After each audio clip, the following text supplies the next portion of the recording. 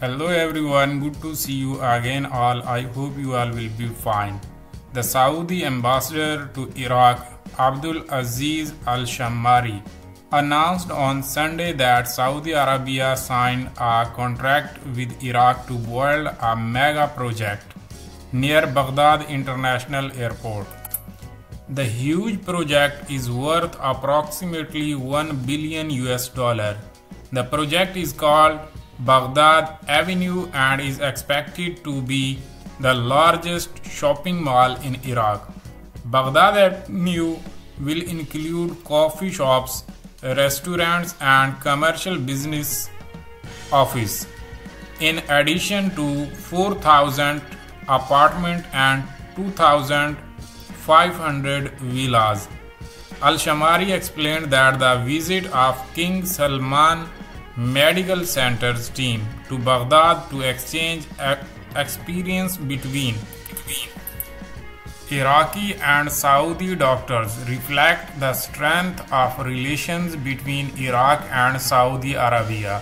The Saudi ambassador elaborated that there will be economic and cultural meeting between both countries in the coming period.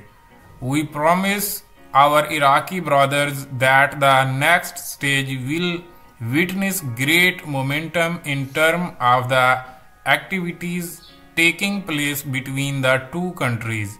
Said Al Shammari, yes, dear all, this is very good news for Iraq. And Iraq has now become a very strong country in every respect. And you all must believe that Iraq's currency is not fake. This is a reality that the whole world will have to accept very soon. And now, very soon, victory is going to be our destiny, and the fruit of our patience will be sweet.